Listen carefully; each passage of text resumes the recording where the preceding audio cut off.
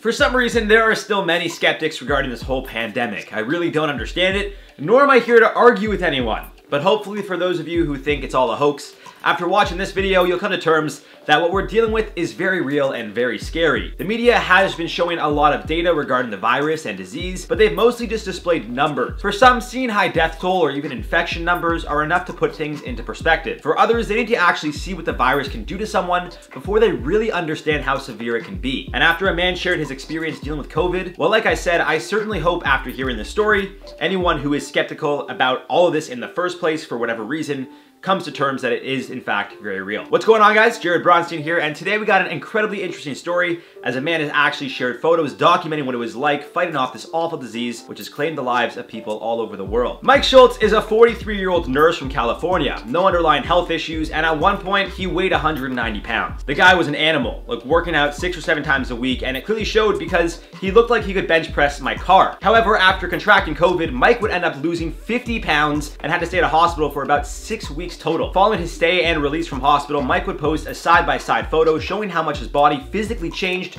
because of the illness. And you can clearly see he went from having insane muscle mass to some parts of his body actually appearing to show bones sticking out. Mike's photo was captioned, I quote, I wanted to show everyone how badly being sedated for six weeks on a ventilator or intubated can be. Amongst other things, COVID-19 reduced my lung capacity with pneumonia. Over eight weeks, I've been away from family and friends, getting stronger every day and working to increase my lung capacity. I'll get back to where I was in healthier ways this time, maybe even do cardio. Speaking with BuzzFeed, Schultz explained he went to the hospital on March 16th, two days after arriving in Boston to see his boyfriend, Josh. A week prior, the two were at Winter Party Festival in Miami, where Josh was performing as he is a DJ. Unfortunately for Mike, Josh, and all those attending, it seems someone had the virus and spread it, leading to at least 38 people from the event falling ill and three of them dying. I can't say for sure this is where Schultz got sick, but it seems most likely. Speaking on it, Mike said, I quote, we knew it was out there. There were no real restrictions in place though. No lockdowns. We just thought, well, we gotta wash our hands more and be wary of touching our face. When Schultz first arrived in Boston, he felt a little under the weather, but nothing too serious. Within two days, his fever reached a temperature of 103 and his lungs started filling with fluid. The men rushed to the hospital where Mike was immediately taken in, not even giving Josh a chance to say goodbye. After four days, Schultz was moved to a larger hospital where he was eventually told he was going to be sedated. I quote, one of the doctors said early on I was probably going to be intubated and it freaked me out. When first speaking about the virus, Schultz said, I quote, I knew what I thought going in. I didn't think it was as serious as it was until after things started happening. I thought I was young enough for it not to affect me and I know a lot of people think that. I wanted to show it could happen to anyone.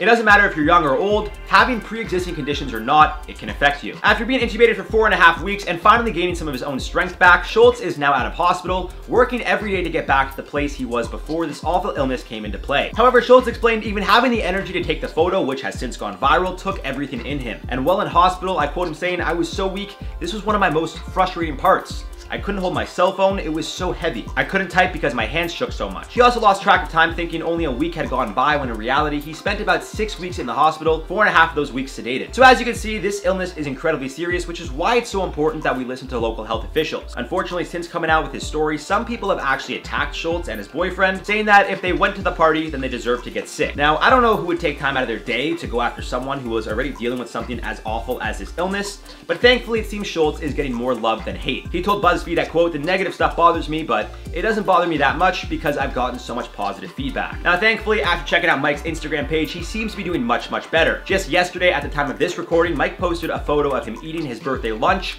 courtesy of his boyfriend, Josh. So Mike, Happy birthday if you see this, buddy. Wishing you all the best in your recovery, and I hope we could find a way to help those still recovering from the illness sooner than later. And that does it for this one, guys. Let me know your thoughts below in this whole situation. For now, let's reply to some comments from the video. We need to talk about Shane Dawson. Love Billy said, sometimes just watching the company people keep says a lot about them. I agree. I think it was Dan Pena. He said, show me your five friends and I'll show you your future. Like your five closest friends and I'll show you your future. Irie Rogue said, man, people must be really bored if they're canceling a person again for the exact same thing for which they were previously canceled. But that was the point I was trying to make is like, just do it or don't. It's enough to keep bringing up old things that you just want to attack. Like, it's been dealt with. So either if you're gonna stop supporting him, then just stop and let's all move on. I don't know. That's where I stand. James Kidd said, I hate it when people bring up the past. You're telling me that no one's changed in a couple years. You're telling me I was the same as I were 10 years ago. People just want clout, goddamn. I could not agree more with that comment. Again, certain things, you know, depending on how old you are and depending on the time, like, there are variables, but with that being said, I think about some of the things I've said on YouTube. I may regret in the next 10 years. I have no idea. But for the time being, I gotta live in the moment, so. Anyways, guys, that does it for this one. I've been your host, Jarred Bronstein. You guys have been watching IO, and we'll see you in the next one.